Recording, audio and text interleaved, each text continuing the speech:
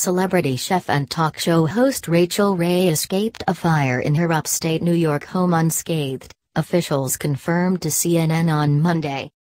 Ray, her husband John Cusimano and their dog were home at the house in Lake Luzerne on Sunday when the fire broke out.